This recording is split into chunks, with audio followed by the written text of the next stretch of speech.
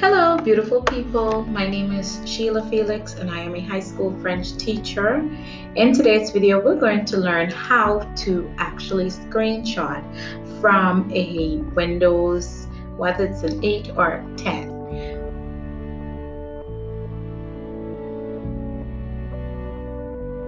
As teachers, you have an opportunity to actually use the screenshotting tool on your laptop. It's more so like the print screen.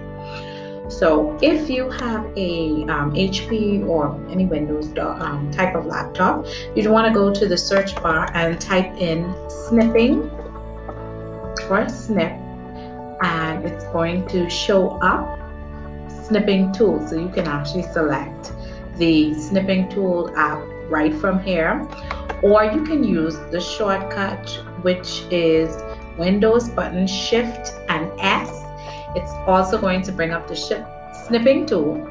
And so you can actually have a rectangular snip, a freeform snip, a window snip, or a full screen snip. So basically I want to use the rectangular snip so that I'm able to snip a document.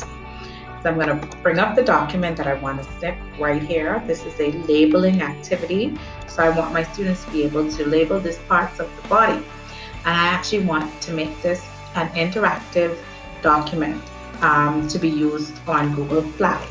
So the first thing I need to do is actually create, um, take a screenshot of this document.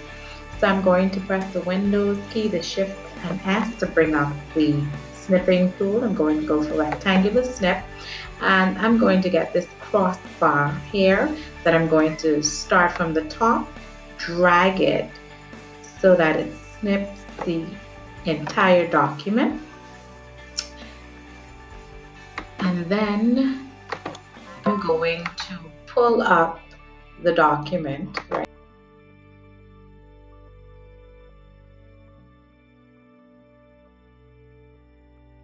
So it said that the step was saved to my clipboard. I want to bring it up so that I can go ahead and save it. So I'm going to go and press to save.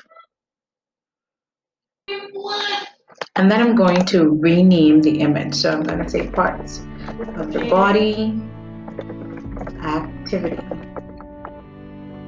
I'm going to save it in my document section so that I can find it and then press save. And then if you want to learn how I make this document interactive, I would suggest that you see the video here um, that is in the recommended section or the suggested section that came up. I'm also going to link it down in the description box below. If you enjoyed this short tutorial, um, go ahead and like and comment and don't forget to hit that subscribe button and share this video to all of your teacher friends. Thank you for staying tuned and I'll see you in the next tutorial.